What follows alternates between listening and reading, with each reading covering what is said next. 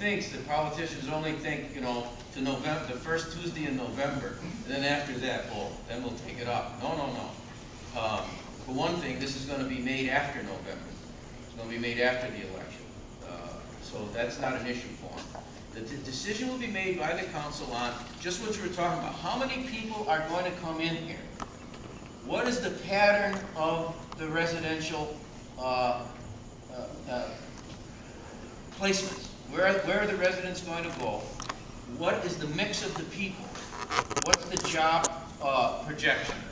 Uh, The idea here, it- that's why we have to spur into Waikiki.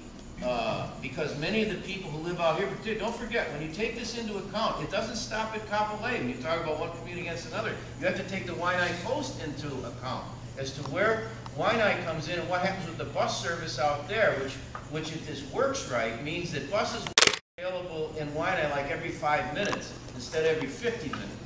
And that you'll be able to come here, if, for example, if you work in Waikiki, one of the hotels, and you live in Nanakuli, Valley, you're gonna be able to, to, to go to work and not have to have a, a twelve-hour workday because you have to have two hours of commute time back and forth plus pay your parking or whatever in Waikiki. There's, so that has to be taken, that's the kind of thing they'll make the decision. What kind of routing?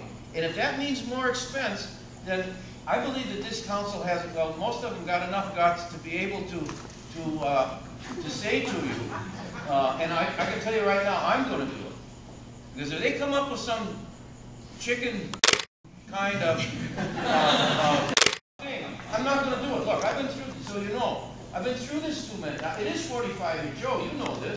And you I went through it. I'm the only still left now that went through the whole thing. We went through thirteen alternatives. Dan, you went through a lot of this stuff, you know what I'm talking about. We went through thirteen alternatives.